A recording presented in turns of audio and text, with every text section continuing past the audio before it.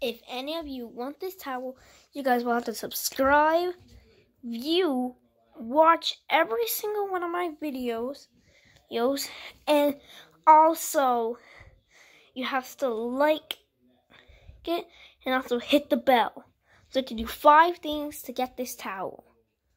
I will possibly be giving it to one of you peoples. So yep.